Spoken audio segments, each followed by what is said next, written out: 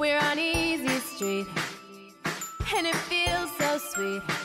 Cause the world is but a treat when you're on Easy Street. Welcome to the Easy Street Radio Show, hosted by Rob Scribner. Grab a cup of coffee and let's get started. Hey, thanks for watching our video. Please take the time to like, subscribe, and share our videos all over the whole wide world. This will help us grow. Also note, buying some of our merchandise or donating to our channel is very helpful also. Thank you for supporting our show. Hi guys and welcome to Easy Street.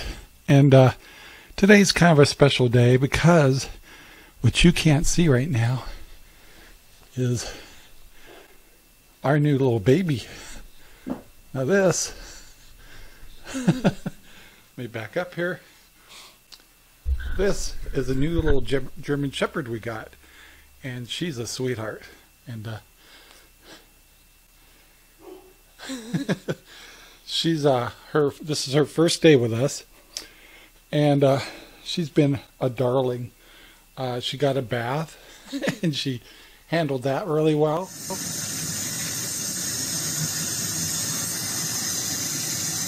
Be a good girl. Look at you.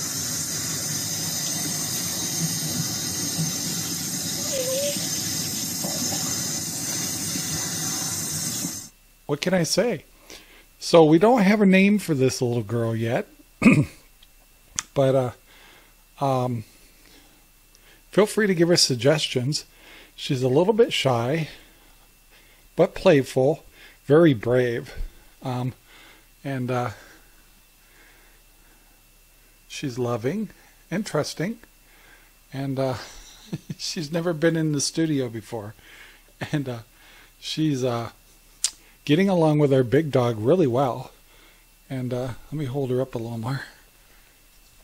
And uh, she's going to be a big dog. And uh, let me hold her up here like this. Anyway, she uh, she needs your love and support. so uh, anyway, if you get a chance, uh, in the comments below, um, and she smells like a puppy. In the comments below, uh, if you have any ideas for a good name for her, um, she's uh, just been a doll. anyway, she's the newest member of our family with Cinder, and uh, she doesn't know what to think of all that. What do you think of that? She's a big girl. Anyway, she's a German Shepherd, uh, working dog with a straight back and uh, she's only nine weeks old, and uh, she's very healthy and uh, not too rambunctious. Just a great puppy, and uh, she makes noises. She does. So, what do you think, guys? She a keeper? anyway, I told you when we get a chance, we'll give you a chance to say hi to her. And uh, let me get her toy. She kind of likes this little toy. But she's probably wondering what is going on. What is going on? Can you hear? Oh.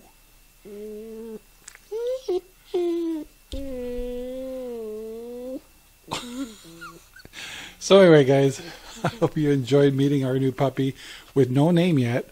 No name, but we're working on it.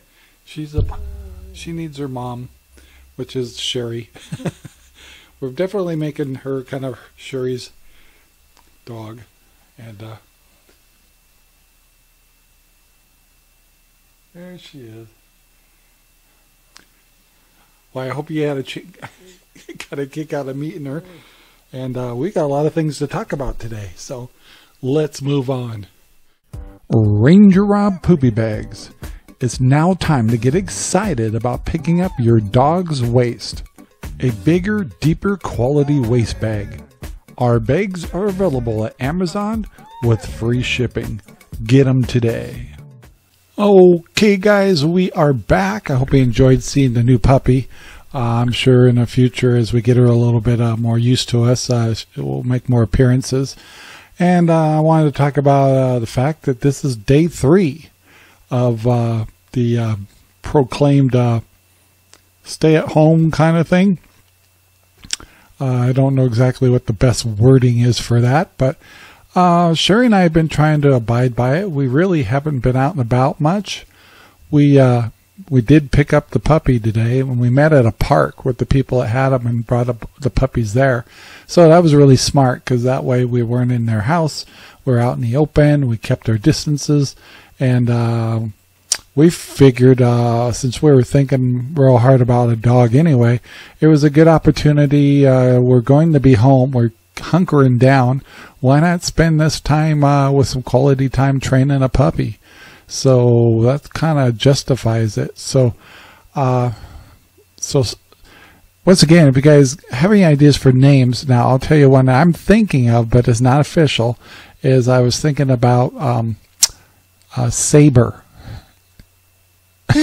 What do you think, Saber? I know she's a little girl, but that'll work. Saber, and you know, it's is a German Shepherd. I don't know. It just seemed like a kind of a neat name, but I have to kind of get it past the high command. But uh, feel free to give us some comments. Uh, uh, I love to also hear what are some of the unique things you're doing if you're home. I know a lot of you guys probably have your kids at home. Some of you are actually staying home.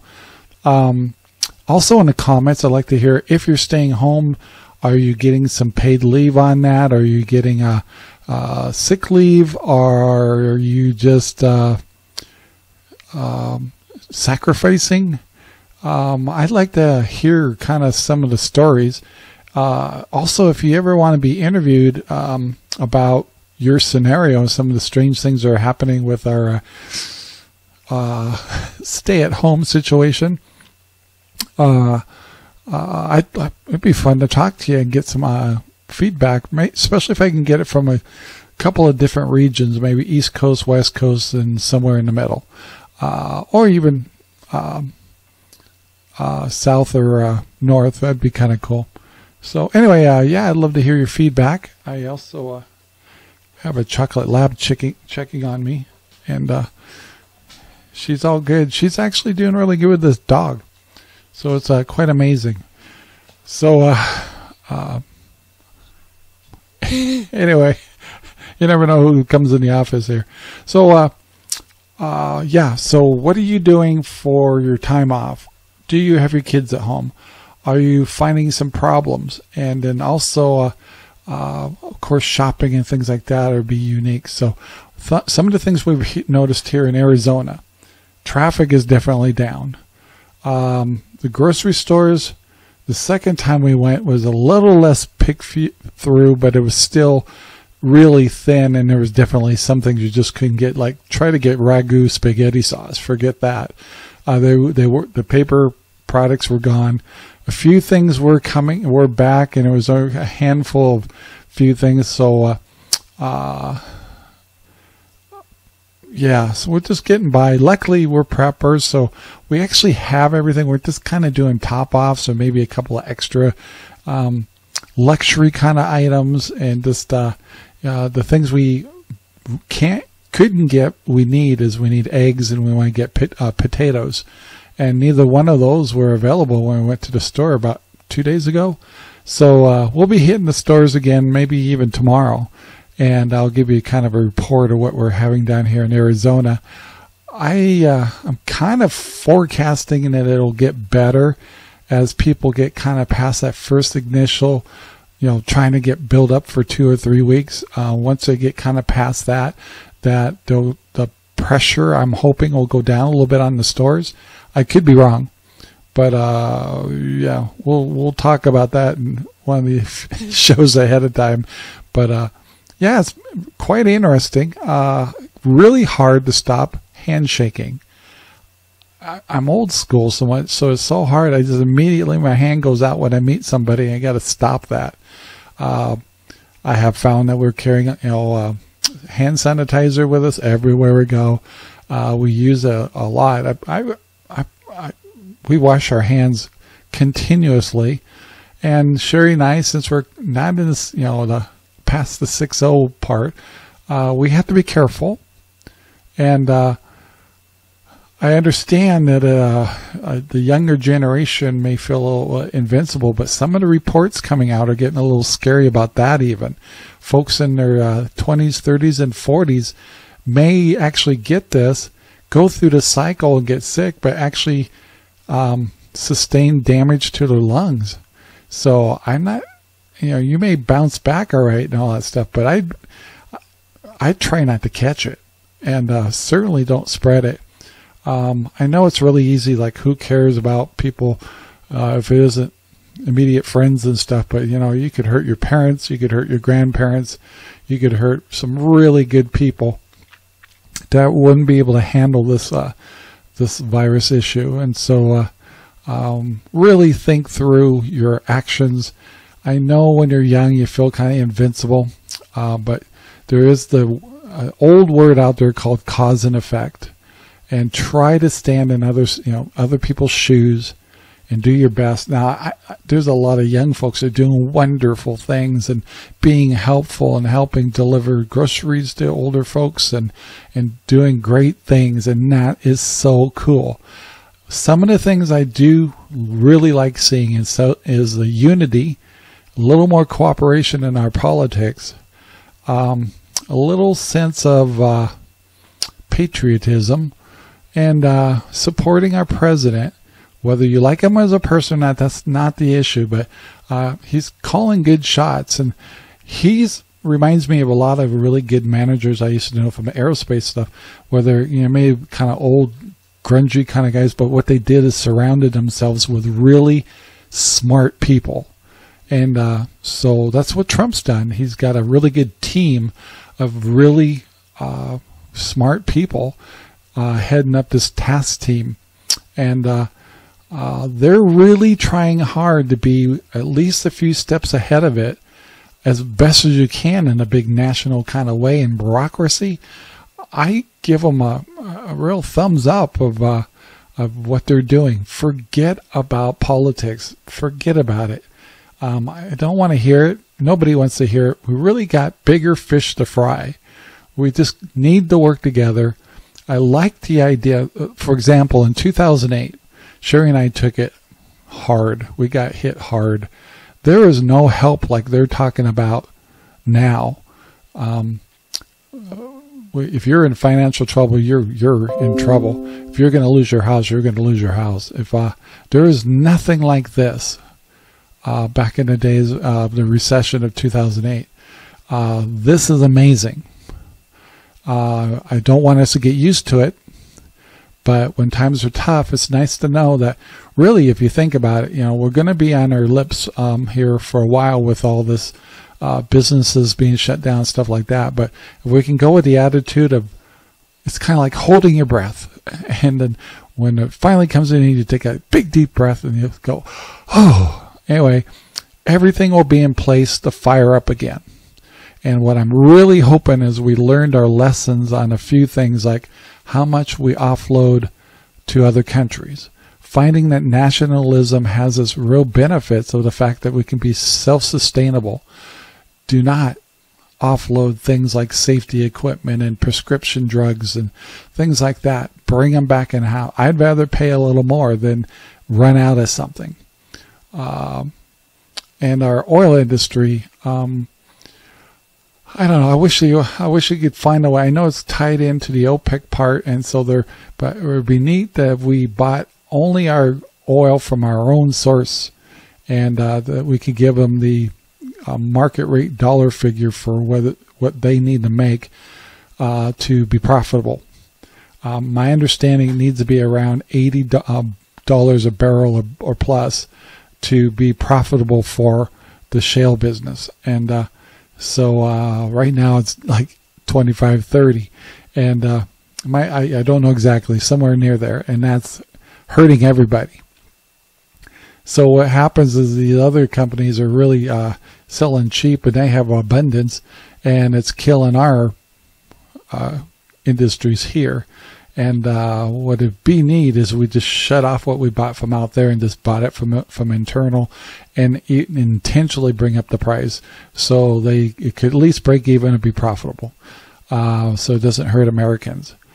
So uh, yeah, that's some a lot of serious stuff, and uh, there's a lot of really good uh, YouTube channels that are doing coverage on this that are really breaking down the numbers, going through statistics, reporting on the different countries, trying to get what's really out there as far as you know. Uh, it's not just old people. That's the other thing. It's, it's not just affecting that and then people with chronic illnesses and stuff. It sounds like even our younger generation has something to worry about.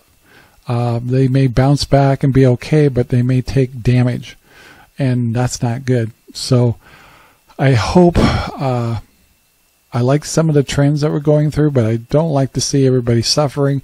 Some people will make out better than others. Uh, Sherry and I will definitely be taking some hits. It's going to be hard. It's hard for all of us. It's nice to know we're not alone. We're all together in this. And it's kind of nice to know that we have our government trying to do what they can in their bureaucracy kind of way to help us sustain while we're all hunkering down. Uh, you know, all they're trying to do is uh, avoid the high bell curve and lower the bell curve so uh, we don't inundate our hospitals.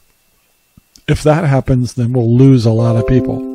So uh, I hope everybody's understanding. I know it's not comfortable. I know you miss your games and you miss your uh, uh, activities in your restaurants and things like that. But there's a lot to learn from this. You know, our grandparents, I have to say grandparents, um, had a lot of wisdom and a lot of things that they got from the Depression and the World War One and Two uh, uh, era, and uh, some of that sustained really well into the next generations and so on. It's faded away again.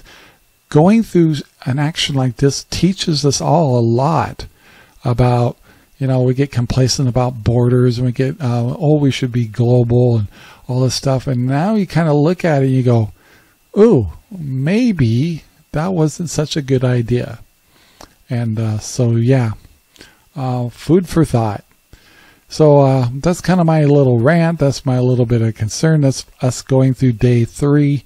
I'm not going to do every day uh, on online here but as the days go on it's going to be interesting to observe if they how they pull off some of this uh, uh, monetary help for us, how they're going to uh, get these tests out, and uh, I, I don't think a lot of people comprehend how big a task that is for all the things we've talked about.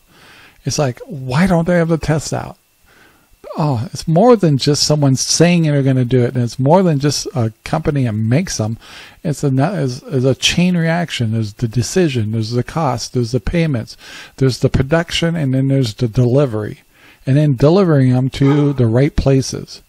And so uh, there's a lot involved, and we need to know that. Uh, that'll make us better people and more patient, and uh, and support both sides of the parties that are doing their best to make us or help us get through this. So you got to give them credit. So that's my story, and I'm sticking to it. Would you like better radio with great talk shows and great music and less garbage? Good Talk Radio is your choice. We have great programming, great music, and a great attitude. We love our country. We love our listeners. Good Talk Radio. Well, we're sitting here sitting around the campfire. and, uh, I kind of wanted to ask you guys uh, in the comments below is uh, my question is, what do you think we're going to learn from this? Uh, I mentioned a few things in the module before of, uh, you know, uh, I don't know, when you get older, you've gone through ups and downs and stuff. Typically, you can say you learned something from it or you made you a better person. What do you think we would, uh, we all will gain from either uh, personal or national or family wise?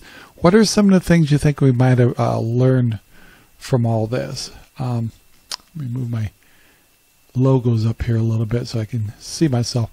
By the way, don't forget you can get your Easy Street hat from Amazon. Uh, just go to the link down in the description. Uh, by the way, Uh, early in the show, we got straight to the puppy, but don't forget you can find us on Good Talk Radio and, uh, lots of other platforms. Just go down to the description below and you can find different ways to find Easy Street and check out some of the other things we do. We have a Ranger Rob cooking show. We have uh, all kinds of stuff, but uh, uh, in radio and and now puppies. so, what do you think we're going to gain from all this? Um, you think we'll be better? You, you know, uh, old history's getting so far back that the the newer generation. It's, it's, it's all we can do to get them to remember what World War II was all about. Um, or even what Pearl Harbor was. I mean, they could, and some of them don't even know what 9/11 was. So, uh, a lot of those lessons learned they kind of fade away, and it's up to us as older folks to kind of remind them. But uh, there's always newer crises and stuff like that. Um, do you see us um, as a nation being uh, a little bit more uh, sensible about some of the things that we've put our foot down on about. For example, one thing I was really surprised to hear about was reusable bags. They're actually a problem, um, especially with the coronaviruses and other kind of viruses, because if you keep using reusable bags, they can actually get unclean, uncleanly. And so uh, uh, we may want to rethink how we do that. Uh, I think really what we need to go find is uh, find um, uh, bio, biodegradable bags instead, um, or something like that. The reusable bag can actually be a health issue, especially in this time and during this uh, um, while our situation is going on right now with the CV stuff. Uh, so I found I found that kind of interesting. I just heard that today, and uh, do you think?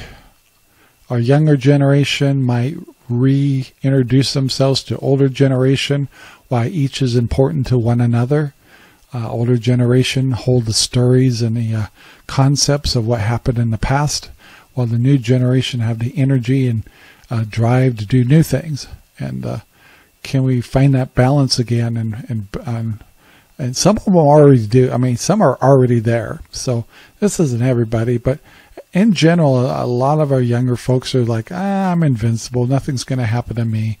Um, and then a lot of them got into a lot of climate change and things like that to a point that they don't realize their cause and effect, especially in a situation like now. And you talk about the borders. Uh, I right now would love to have the borders totally locked up, and if they do have uh, people coming over, that they go through a thorough health screening and things like that. Um, and that's not even talking about trafficking and, and crime and things like that and drugs. Um, so I'm hoping, unfortunately, a crisis sometimes points out our failures or areas that we need to uh, rethink. And I'm hoping some of the things we learn out of coronavirus uh, that will help us uh, uh be better uh, and, and realize nationalism is not a sin nationalism uh, gives us strength and allows us to take care of our people. And if we can take care of our people first, then it's easier for us to, to reach out and help others. Does that make sense? Uh, if you've got enough masks, you've got enough medicine, you got your health care in good shape, and uh, everybody's cruising along right well, and the other countries in trouble, we should be able to still help but not until we make sure that we're taking care of ourselves first. Um, so yeah, that's just kind of an opinion. Love to hear your ideas, hear your comments below. Uh, I'd like to um, comprehend what people are thinking out there. What are the lessons learned? What do you think we're going to be better at? Oh, do take the time and leave your comments. It's really important. And don't forget to like and share and tell everybody about our videos and about our radio stations and stuff. And uh, you get a chance, you know, go to Amazon, pick up some of our Ranger Rob poopy bags or grab a hat or something like that. It helps the channel. And uh, uh, yeah, so let's go. On, let's move on to our next subject. You know, I find it kind of interesting. I actually haven't gone to this one chart I'm going to show you for quite a while. And I remember I was talking about it and I was like, I think it was at 30,000, 35,000, something like that. And now, let me pull the same chart up and look at these crazy numbers. 218,000 people confirmed. There's been over almost 9,000 deaths. Wow. What a change. Um, and that's only been uh, maybe two to three weeks since I put this chart up. And that's kind of spooky. So, uh, we're getting uh, towards the end of the show here. I apologize. Uh, it's um, concerning um, what we're going through. I think I did hear something that was actually quite unique that we should probably keep in mind is um, our truckers are actually having a hard time when they're moving our stuff around the country, which is so important. They're actually having a hard time finding a place to stop and eat because everything's shutting down. So, uh, whenever you get a chance and you see uh, somebody in the transportation business, give them a thumbs up and a thank you. And maybe, maybe set up some kind of program or do something to help them get food uh, when they're making stops. Maybe even offer to go through a drive-through or something for them to pick up some food for them because they're limited to what they can do with their trucks.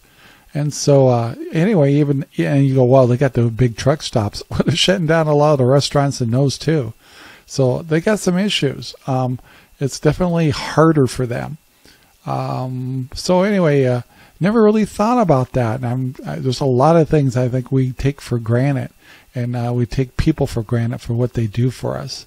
And uh, so uh, I don't know. We there's a lot of things going on that uh, you know. There's so many people, you know, uh, whose jobs have been sacrificed, their businesses have been shut down, and they've got to somehow survive because most likely they still got to pay for their electricity, still got to pay for their rent, still got to pay for uh, payroll for some issues. Um, they still get taxes. They, those things don't go away, yet the income is stopped. And yeah, hopefully the government will help uh, all these different businesses have something to help survive. But uh, there's a lot of sacrifice going on, and it's easy to forget about those people and those services um, without trying to stand in each other I mean, each other's shoes as you're going about your business and doing things and stuff uh, ask yourself i wonder how this is affecting that person or that person or that business or that service uh, from the simple things of someone's who a, tar- a tattoo artist to a um, a, play, a spa to uh, haircuts to uh, restaurants and stuff like that. Those poor folks have been asked to shut their doors and receive no income, yet there's probably still some bills. So uh, that's a big sacrifice by a lot of people. Are you showing the gratitude? Are you showing the respect and the patronage and, and nationalism of what sacrifices people are making so we can try to get through this at a small bell curve instead of a, uh, uh, one of those big spikes where it just wipe out our hospitals. Uh, I mean, this is going to go through, and we a lot of people are going to be affected. But if we can keep it minimal at a reasonable rate, we can maintain it and get through the bell, a little bell curve. So a little bell curve is a good thing. A spike would hurt us dramatically, and and, and a lot of deaths would be not necessary. So uh, if you're uh, spiritual at all, put a uh, throw out your uh, prayers not only for yourself and your household and family, but for our nation and our people, for our services and production and products, uh, our leaders, all of them uh, all of them, even the ones that might drive you crazy, put in a good word for them. Uh, I think they're kind of coming together at this particular point, and that's a good thing, and that's actually how it used to be. So, uh, anyway, I hope everybody's being safe out there. I hope everybody does hunker down.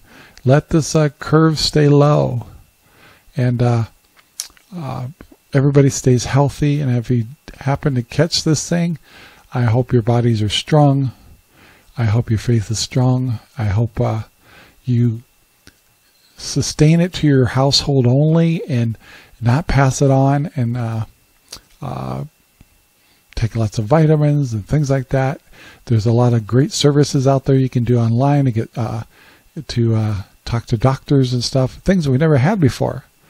So uh, be strong, folks. Be American. Be a patriot. Believe in nationalism. And let's learn from this. Yeah, what a concept, huh? Let's learn from this. Anyway, guys, have a great day. Thanks for listening to Easy Street. Be safe, and there will be more puppy pictures. Just got to do it. You can't beat puppy pictures. Anyway, guys, talk to you later. Bye now. Thank you very much for watching our video. Please take the time to like, subscribe, and share our videos all over the whole wide world. Thanks.